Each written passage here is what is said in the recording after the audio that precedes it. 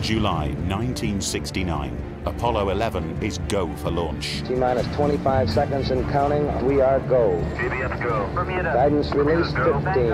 After a decade of work, NASA is less than four days from putting a man on the moon. Ignition sequence start. Six, five, four, three, two, one. Liftoff. We have liftoff. I believe that this nation should commit itself to achieving the goal of landing a man on the moon and returning him safely to the earth. But in 1961, when Kennedy pledged to put a man on the moon, NASA had little idea of how to get there. It was the most audacious thing NASA has ever attempted in its history. When America says it's going to do something, it does it. A new rocket was needed to rise to the challenge. But developing such a colossal machine would push science and engineering to its limits. These were people who weren't going to accept that failure was an option. What they achieved is little short of remarkable. It is still the most powerful rocket ever built. This film tells the incredible story of how NASA built the machine that flew man to the moon. We have you go for orbit here. Go for orbit.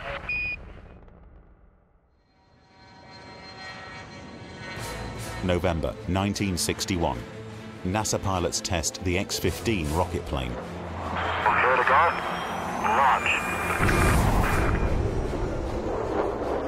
Your angle looks good, Bob. Speeding to Mach 6, NASA reaches out for the edge of space. Got 12.6. Still good. Fantastic up here. But unbeknown to the American public, these rocketry milestones have been built on technology from an unlikely source.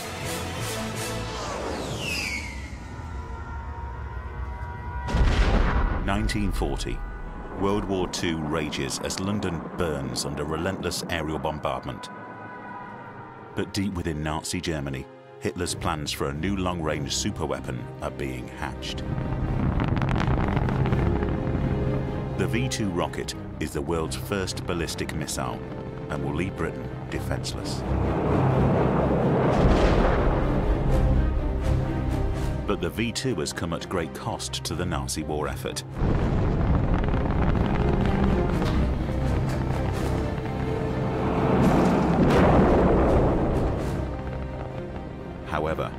These early lessons in rocketry will mark the surprising first steps towards manned spaceflight. And the mastermind behind the V-2 rocket, scientist Wernher von Braun, will later become an unlikely giant of the American space program. At the end of the war, US agents capture over 100 German scientists, including von Braun, and recruit them to develop weapons for the US Army. The story of von Braun's arrival in the States dates back much further than that. It was very clear that the Allies were winning the war. They had to decide who they should surrender to. They were too concerned about the treatment that they would get from the Russians, and that left the United States. Von Braun and his team were shipped over to the States in September 1945 along with 15 tons of paperwork and more than 100 V-2 rockets. On arrival in America, von Braun continues to develop the V-2 rocket for the US Army, working on the rockets captured from Nazi Germany. Von Braun and his team were clearly interested in pushing the technology forwards, improving the performance of the V-2, refining some of the systems that controlled the flight, Eventually, they started flying two-stage rockets, where the V-2 was the first stage and they had an additional booster as the second stage. With this small young missile called the WAC Corporal, fresh out of Pasadena, California, the V-2 WAC Corporal combination marked for the first time the blending in action of American and German rocket brains. A combination that was destined to have its rendezvous with history.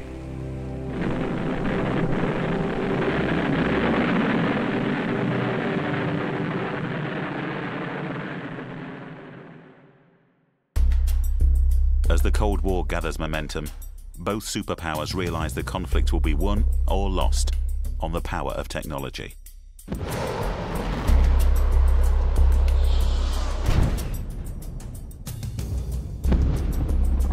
With missiles reaching higher and higher altitudes, it becomes clear that the ultimate symbol of superiority will be the conquest of space.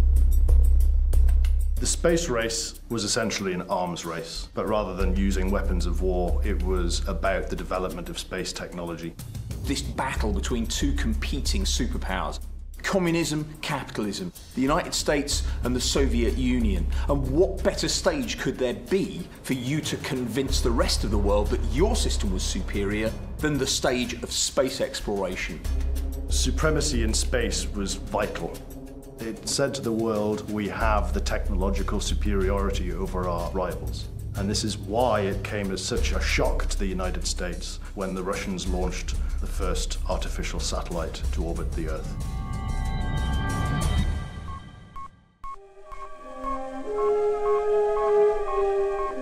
All the people on this fast shrinking planet heard about it. Many of them watched it. All of them read about it. In 1957, the US learns of several spectacular Soviet space victories that send shockwaves across America. On October the 4th, 1957, the Soviet Union launches Sputnik 1, the world's first artificial satellite. Sputnik really put the United States into crisis. It was a global event. The Americans were absolutely shocked that a dictatorship suddenly beats them to the first hurdle, which was to put the first object into orbit around the Earth. Every day it was orbiting the Earth 16 times, and every day it was passing over American territory. There was nothing they could do about it, and that's why it had such a powerful effect on their psyche. On November 3rd, 1957, the Earth's second artificial satellite went into orbit.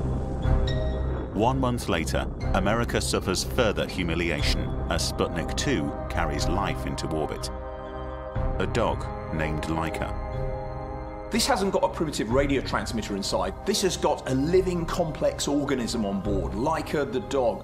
It was a massive leap in the eyes of the public and technologically as well.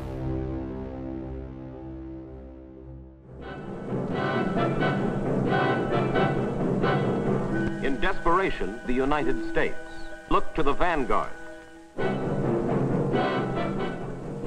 Nearly 200 newsmen from all over the world were flown down for the big turkey shoot. And inside the blockhouse, the tension steadily mounted.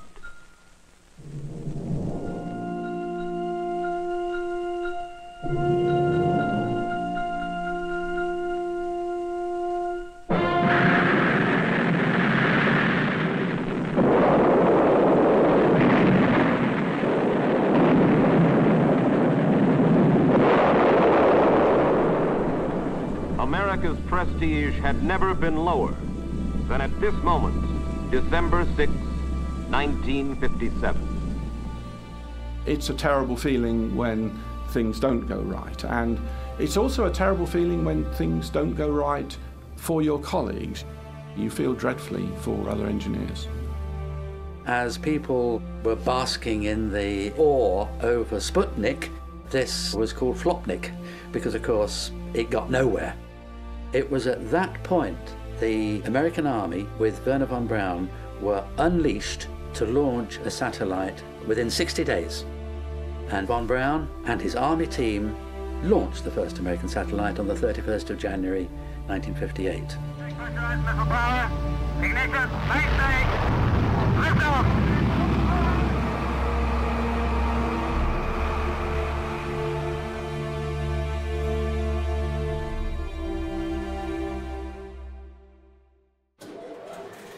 1958, Washington forms a research organization to accelerate an American space program. NASA is born. Von Braun was enveloped within this expanding NASA organization that hoovered up all of those different departments of Air Force, Army, and civilian activities to create the infrastructure that could mobilize major programs. Von Braun and his men immediately begin work on a heavy lift vehicle that they believe will give America the lead in the space race. Having stumbled at every hurdle in the race, there was further humiliation for the United States with the launch of Yuri Gagarin. He was the first human being to orbit the Earth, and that's all he did. One complete orbit and then lands successfully. I say that's all he did, but we need to remember, of course, that every second he was travelling five miles. And he landed as a global hero. He was feted by the Soviet Union as a triumph of what was possible under a communist society. It really put a lot of pressure on the White House. How could you have let our country fall behind so badly? How could it be possible that the Russians could launch an artificial satellite and then, secondly, launch um, a human being? So the Americans felt this very, very deeply indeed. Kennedy said at the time, we're going to have to take more hits before we pull ahead. And that was the view simply head down, focus, keep going. One month later, the United States responds with Project Mercury and launches astronaut Alan Shepard to become America's first man in space. Your attention, please.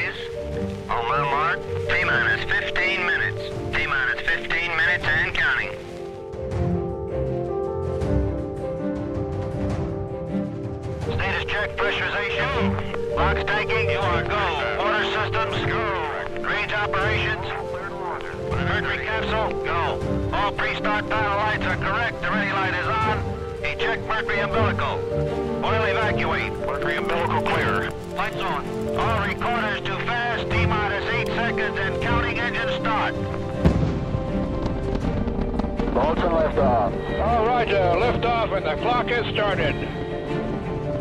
This is Freedom 7, reading you loud and clear. Control is smooth. What a beautiful view.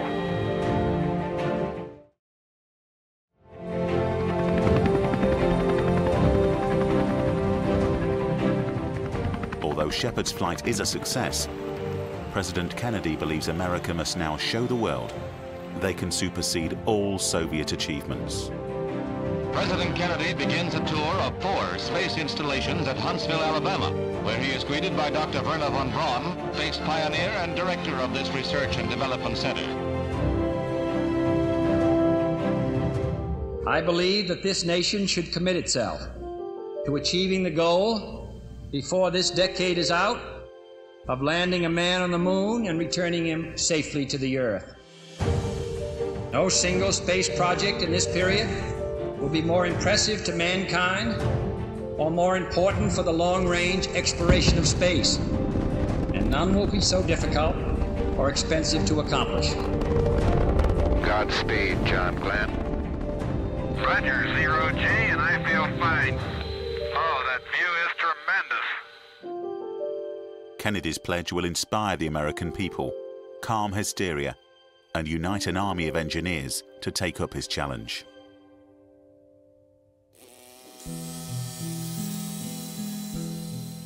But in 1963, NASA has little idea of how to build a rocket capable of flying beyond Earth orbit. Von Braun's favored design is a colossal rocket known as the Nova, capable of launching a large lunar lander.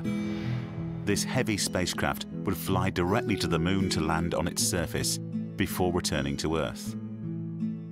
When NASA was doing the very early designs for the whole Apollo mission, they developed a specification for a rocket which was never built called the Nova rocket, which would have been absolutely immense in size. The whole front end of which would have been a spacecraft weighing about 45 or 50 tons. This would have been such a colossal spacecraft with such weight that people did not know even if the surface of the moon was sufficient to support the weight of such a colossal stage. The Nova design is eventually abandoned due to cost and complexity. NASA commit to an alternate design, a smaller launch vehicle comprised of three main stages. Consisting of fuel tanks and engines, each individual stage will burn at a specific time during launch. This stage design allows the heavy fuel tanks and engines to be discarded once used up, reducing the weight of the rocket as it climbs higher.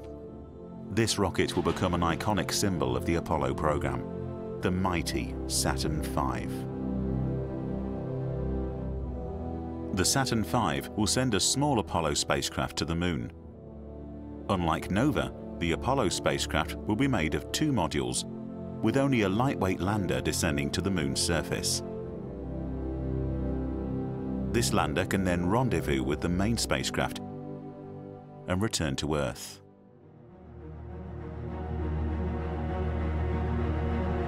But before building the Saturn V, NASA must expand their understanding of multi-stage rockets. Work begins immediately on the Saturn I, a smaller test vehicle needed for trialling stage designs. Just five months after Kennedy's pledge, the first Saturn I is ready for launch. Four, three, two, one. All engines running. Thrust commit. Launch commit. Go.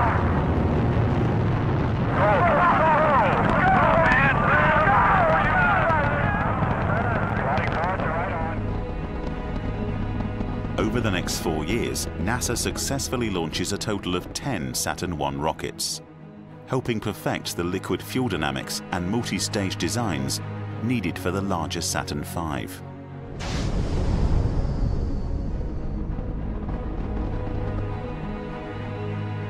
By 1963, construction on the mighty Saturn V has begun, with the most powerful engines ever built, capable of launching man beyond Earth orbit. The Saturn V will secure America's dominance in the space race. But building such a colossal vehicle will require precision engineering on an unprecedented scale. The Apollo lunar program was an absolutely enormous undertaking. At the height of the program, they had 375,000 people working on the project. The range of skills that were required was much, much broader than any single company could cover. The chance of success would be maximized by bringing together the very best minds from the top companies in the United States. Under the direction of Von Braun, Boeing, North American Aviation, Douglas Aircraft Company, and the leading computer giant IBM are all contracted to the Saturn project. And new launch sites, control centers, and vast support complexes are built across America. The first stage of the Saturn V consists of two main components the fuel tanks and the giant F1 engines. The 42 metre high first stage will be the largest section of the Saturn V, with most of its mass being made up of rocket fuel. Two tanks will hold kerosene and liquid oxygen for five F1 engines. Many people forget about the fuel tanks, but you must remember the challenges.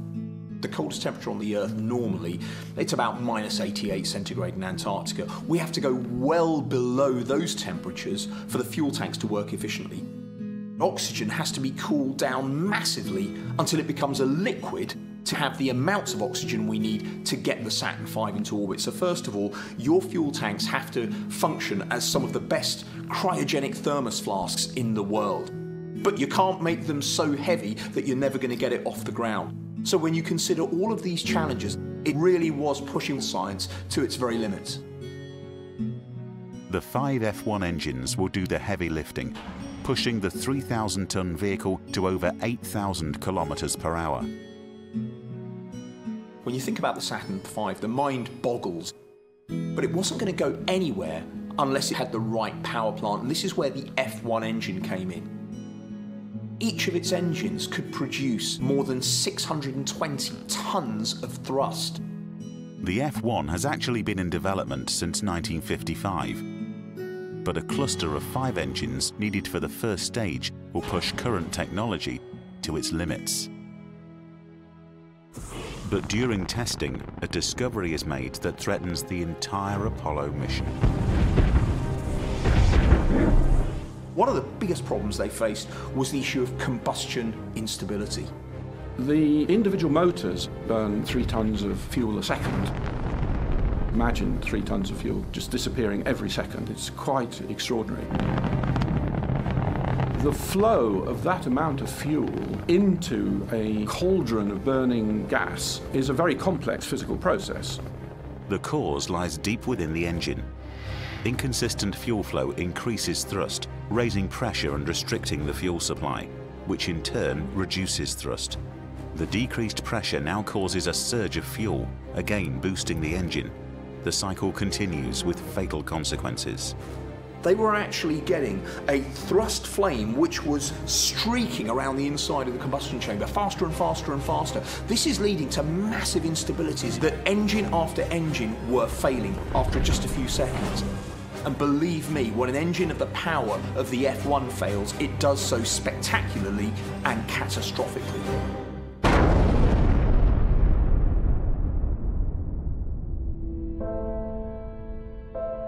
Thousands of engineers work tirelessly to solve the problem, eventually discovering that installing baffles to balance the fuel flow leads to a smoother, more stable burn. When I look back at the challenges that they faced, in a time when we didn't have computational fluid dynamics modeling on supercomputers, what they achieved in those few short years is little short of remarkable. These were people who weren't going to accept that failure was an option. They knew the time pressure, they felt there was a national goal, they were putting their hearts and souls into it, so when they encountered difficulties, and when we look at the F1 testing regime, boy were there difficulties. They didn't give up, they just learnt from the lessons and they moved on. With the F1 stable, the first five engine cluster on a fully developed first stage is test fired.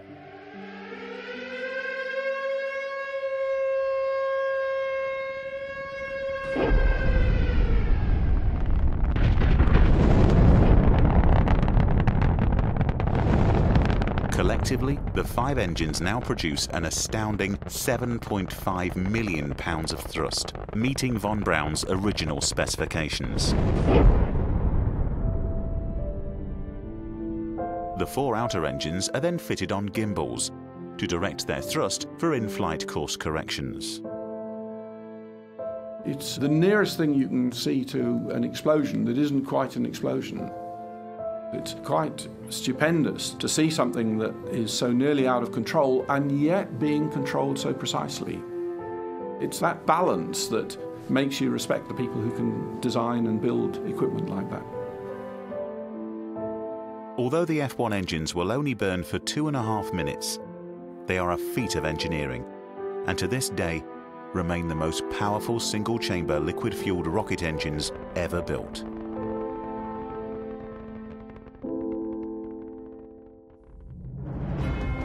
In parallel to the development of the first stage, work has begun on building the Apollo spacecraft that will fly the astronauts to the moon and back. But to flight test this Apollo hardware, a new rocket is needed. Construction of the Saturn 1B begins immediately. With a new, more powerful second stage, this vehicle will launch a manned Apollo spacecraft into orbit for flight testing.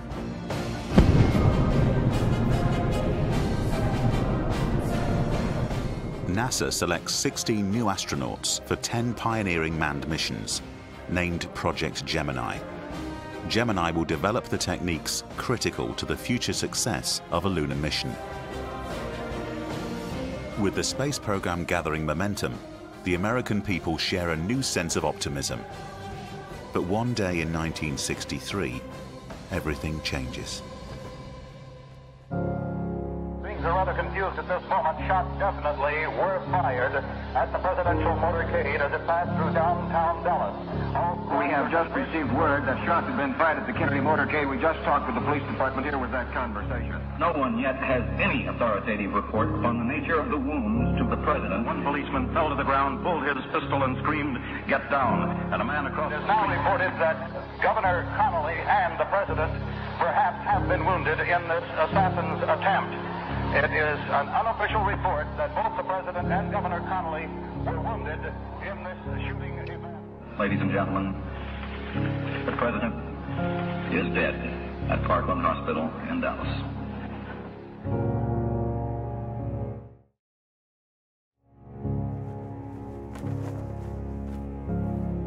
There at the time, you could feel it. A terrible sense of loss.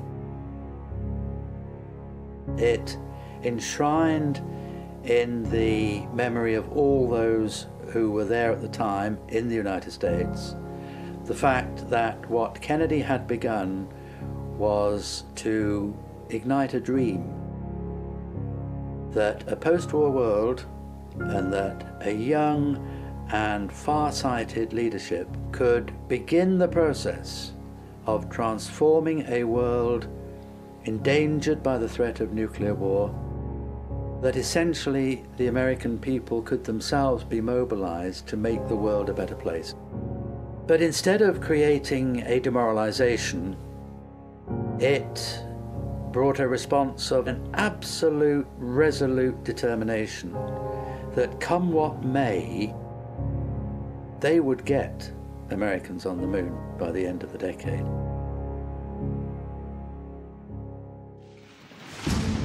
NASA defiantly presses on with Project Gemini. Clock started. Go on your way, Molly Brown. They make huge steps towards fulfilling Kennedy's dream and showing the world the America he believed in. Oh, man. This is the greatest experience. I'd be like a million dollars.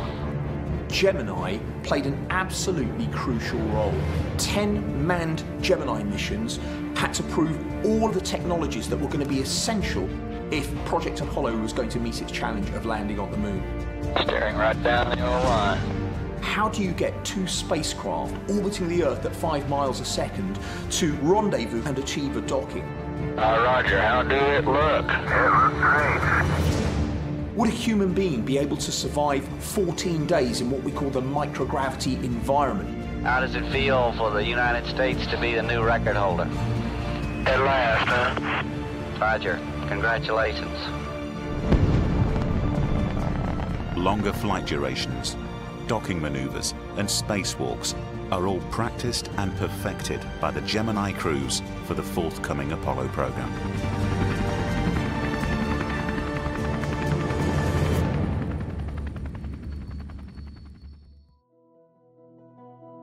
Construction of the Saturn V's third stage is well underway at the Douglas Aircraft Company. Stage 3 has two main roles, requiring its single J2 engine to fire twice. The engine will first boost the spacecraft into Earth orbit, and later reignite, setting the ship on course for the Moon. But during J2 testing, engineers encounter another serious engine problem. The entire assembly exploded, destroying the motor and, and damaging the test stand very severely. The spherical tanks designed to pressurize the fuel system had ruptured, so a weld had failed, and the shrapnel created an enormous explosion that destroyed the motor and also seriously damaged the test stand.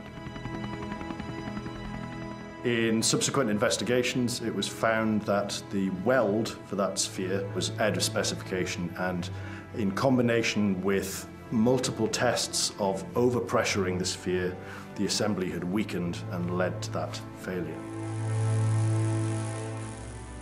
Welding the fuel tanks of the Saturn V has proved to be a major challenge. Sophisticated modifications are made to equipment in order to produce the flawless welds needed to withstand the extreme in-flight stresses. All welds are inspected and subject to a new policy of over-testing to destruction.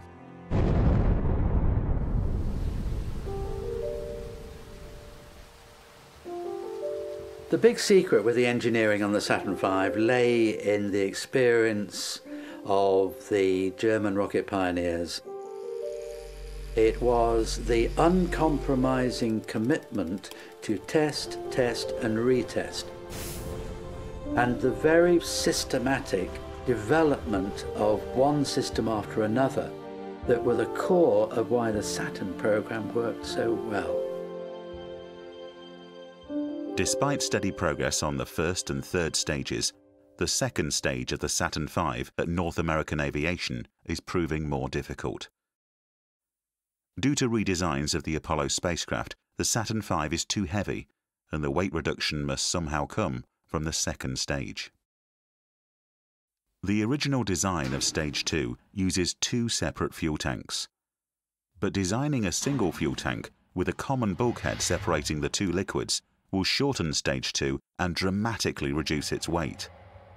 But this leaves Stage 2 engineers facing one of the greatest challenges of the entire build. Two intensely cold, highly flammable liquids will now be separated by only a thin layer of insulation. This common bulkhead was one of the really challenging, potentially show-stopping problems a difference of nearly 130 degrees across those two cryogenic fluids. Hydrogen at minus 423, oxygen just the other side of this very thin wall, minus 297. You couldn't have heat leak between the two. And the technology was stretched to the very limit in terms of the materials that were required for this common bulkhead. And all this was happening in parallel as these various stages were being developed. By May 1965, the shorter and lighter second stage is near completion. And in parallel, the instrument unit is also under construction. This circular section of the vehicle, 22 feet in diameter, will sit above the third stage. Manufactured by IBM, this collar holds all of Saturn V's flight guidance, detection systems and flight control gyros. During motor burn, you've got to control the flow of fuel into the combustion chambers, you've got to control the direction in which the thrust is pointing. The engines are designed to move to steer the vehicle. Those engines have to keep moving just to keep it on track. So you needed the control computers that took signals from the various sensors, telling it how to gimbal the motors so that the thrust was pointing in the direction that was necessary. Of course, you've got to think back to the 1960s and what computers were like then. Probably your electric watch has got more computing capacity than this had. But as with many aspects of the Apollo program, the small steps to advance technology, to apply them in new areas, are all part of the story that leads up to, you know, laptops and, and you know, computers in our car and things like that. It accidentally threw off all of these benefits which society now feeds on. Meanwhile, the Lockheed Propulsion Company has designed and built the launch escape system. The Saturn V vehicle stood 110 meters. The final 10 meters attached to the top of the command module that the astronauts actually sat in was the launch escape tower. The launch escape tower was essentially to take the astronauts to a safe place in the event of a vehicle failure.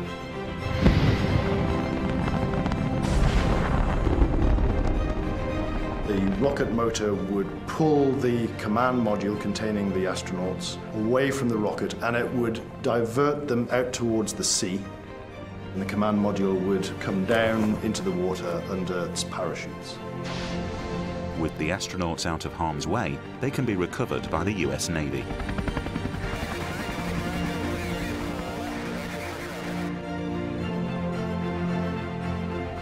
Throughout 1966, success follows success, and it seems nothing can stop the Apollo program. But in January 1967, disaster strikes.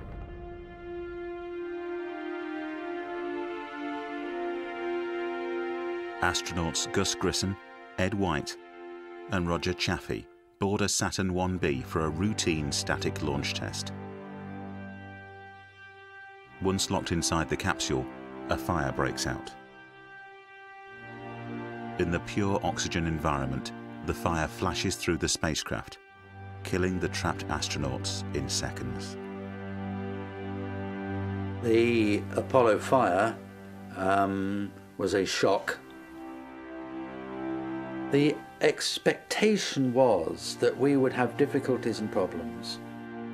There was no realization that within the design of the spacecraft itself, lay deeply embedded serious engineering design flaws. And so the shock was a deeply incisive and damaging, to a great extent, impact on morale. Gus Grissom himself said, We expect to lose people in this business, and he said it must not stop if lives are lost. Sadly, he was one of those whose life was lost. But there was a sense that just as the death of Kennedy had deepened the resolve to fulfill his commitment, so too were the loss of these three lives not going to reduce in any way the effort and the determination and the resolution to press on and get on the moon by the end of the decade. The Apollo program is delayed, while NASA engineers apply new fire safety measures. But with the end of the decade looming, NASA bypasses its reliable incremental testing strategy and proceeds with a high-risk all-up flight test. All stages of the vehicle are assembled at the Kennedy Space Center, and the first Saturn V rocket will be launched as Apollo 4. We are go, 30 seconds and counting. After years of pioneering rocket design and engineering, NASA's first $135 million Saturn V is ready for liftoff. Okay, all flight controllers, let's play it cool. Final status check, booster. Go. Retro, go. Fido, go. Guidance, go. Verify your go for launch. Roger, we are go for launch. We have ignition. All engines are running.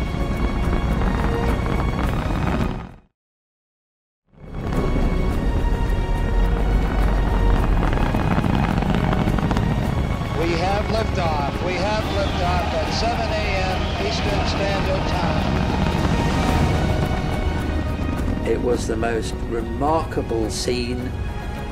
It was the most impressive sight. The weight of a warship lifting vertically into the air. It was just breathtaking. Apollo 4 brings the dream of landing a man on the moon a huge step closer. But before astronauts can pilot the mighty Saturn V, further testing must take place.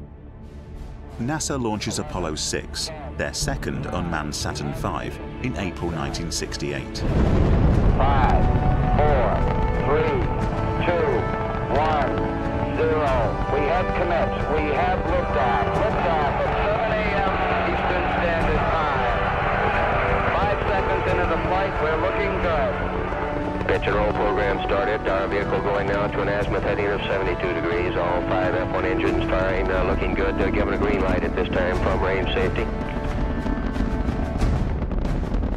NASA expects another perfect flight, but shortly after launch, the Saturn V starts shaking violently. If these vibrations continue, the vehicle will break itself apart. The vibration is known as pogo. NASA engineers have encountered pogo before, but never on this scale. Pogo is essentially a vibration that occurs along the rocket. It's created by the motion of the rocket changing the way that fuel flows along the fuel lines, which then varies the thrust. And it can become so violent that it actually destroys the vehicle. As the first stage burn ends, the vibrations subside. But the damage caused is about to become clear. Four minutes into the second stage burn, two of the J2 engines lose power and shut down. We have a report of a loss of engines two and three. With two engines out, NASA prepares for a mission abort. But the remaining engines gimbal to correct the trajectory and the rocket just reaches orbit. After this precarious flight, NASA investigates the pogo problem. Engineers discover the pogo vibrations ruptured a fuel line, causing the engines to fail. Apollo 6 flight data also reveals that astronauts would not have survived the violent vibrations had they been on board. NASA must stop Pogo. At one point in time, NASA had about a thousand engineers working on the Pogo problem.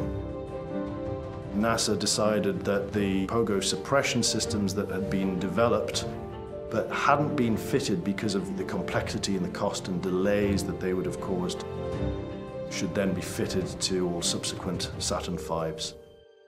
Although engineers fit suppression measures to the first stage F1 engines, it will be several manned missions before they address the severe pogo of the second stage J2s.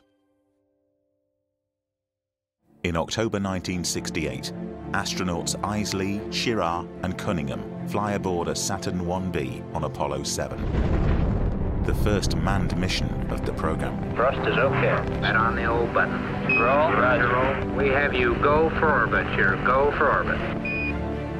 They give the Apollo spacecraft a comprehensive system checkout in orbit. Roger. Good morning to everyone in television land. Three, two, one, mark. Houston is go for the burn. We're burning. The rates are good. It's a good burn. We go. Beautiful job. All hardware works perfectly, and the stage is set for further exploration. December 1968. NASA chases Kennedy's deadline with Apollo 8.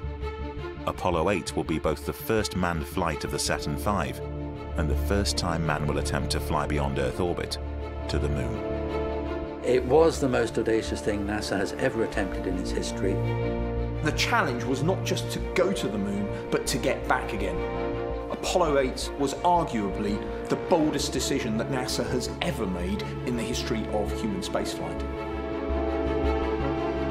After years of design, development and testing, the Saturn V is handed over to the crew of Apollo 8.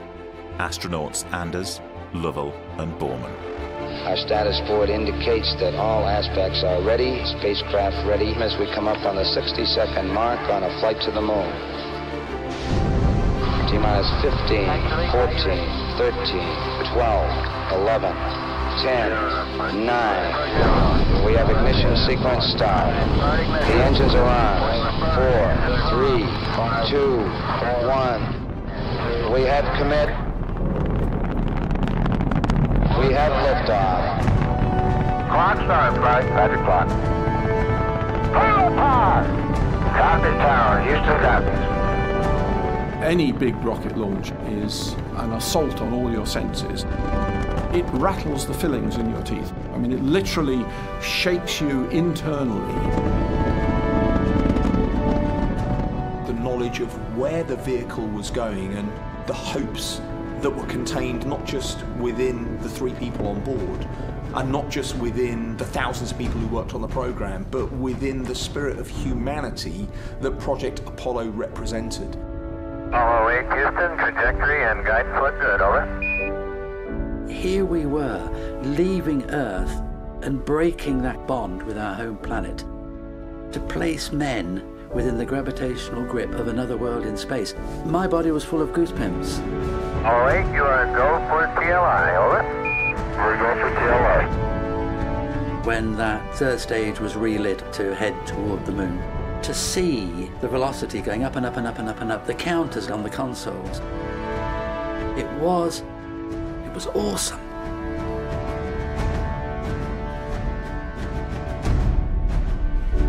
I think the Apollo 8 crew saw our home planet from a perspective that, that people have dreamt about for thousands of years. They were the first human beings to be able to blot out every aspect of human history, everyone they'd loved, everyone they'd dreamt about, all of their successes, all of their failures, just to blot it out with, with a thumb. It's the first time that the Earth was seen not as the place that we live, but as a planet floating in a black sky, seemingly insignificant among the, the vastness of the stars. Apollo 8 successfully orbits the moon 10 times, and on Christmas Eve 1968 makes a historic television broadcast to the world. For all the people back on Earth, the crew of Apollo 8 has a message that we would like to send to you. In the beginning, God created the heaven and the earth. And the earth was without form and void, and darkness was upon the face of the deep. And God said, Let there be light.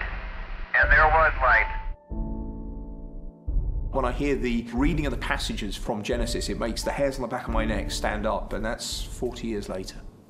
I think Apollo 8 is certainly a contender for the proudest moment of the Saturn V. And from the crew of Apollo 8, we close with good night, good luck, a Merry Christmas, and God bless all of you, all of you on the good earth.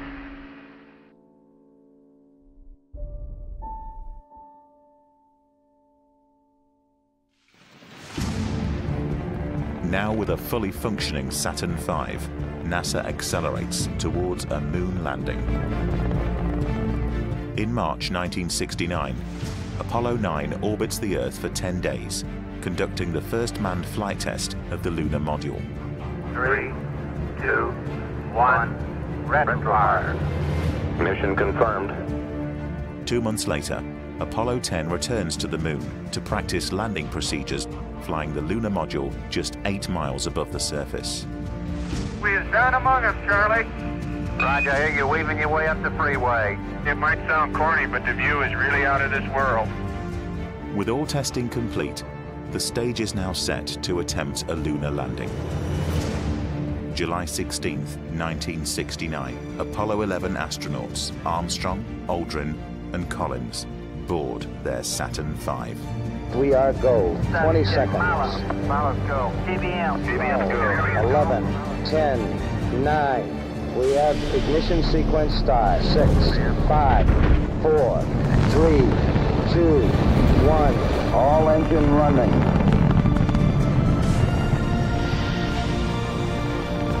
Liftoff. We have a liftoff. 32 minutes past the hour. Liftoff on Apollo 11. Four days later, Neil Armstrong sets foot on the moon, realizing Kennedy's dream and securing America's superiority in the space race. That's one small step for man, one giant leap for mankind.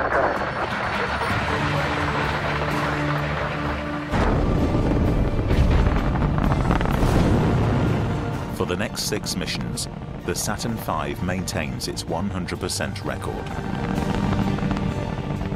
Between 1968 and 1972, 24 men fly to the moon and 12 walk upon its surface. This has got to be the most proud moment of my life, I guarantee you.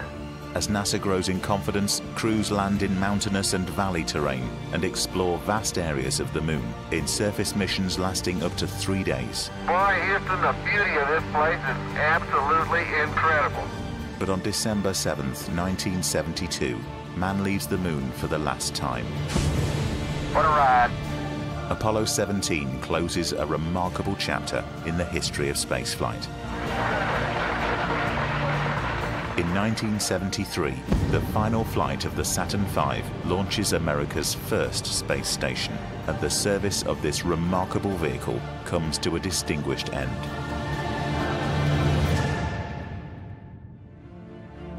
The legacy of the Saturn V is the number of scientists and engineers and teachers who were inspired by the sight of that magnificent, outrageous rocket standing on the launch pad.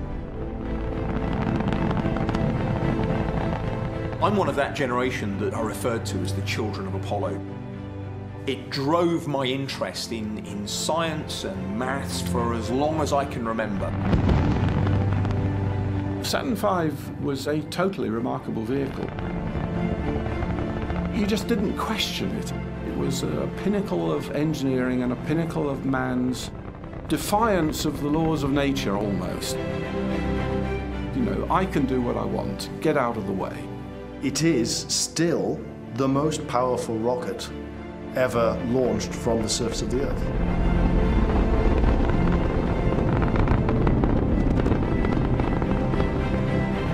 Its whole purpose, the whole embodiment of what it represented, was to go in search of answers to questions that have been asked since the beginning of time. What we are, what is out there, What is that moon? What is it like to walk upon it? The Saturn V showed us that we could do it. It's about time we did it again. When people imagine the moon landings, I think you see an astronaut standing on the surface of the moon, and you also see that amazing rocket leaving the launch pad. This generation does not intend to founder in the backwash of the coming age of space. We mean to be a part of it. We mean to lead it. And I can feel the hairs on the back of my neck stand up. All engines running. Thrust commit. Launch commit. Liftoff. We have liftoff. We have liftoff at 7 a.m. Eastern Standard Time. The tower has been cleared. But really, beyond all that, it stimulated dedicated workmen to shed tears when they saw that thing rise. The fulfillment and the culmination of their dreams carried forward into the cosmos by such an extraordinary vehicle. We'd like to give a special thanks to all those Americans who built those spacecraft, did the construction, design, the test, and put their heart and all their abilities into those crafts. To those people, tonight we give a special thank you. God bless you. Good night from Apollo 11. The Saturn V remains the most powerful vehicle ever built and will always be considered one of mankind's greatest technological achievements.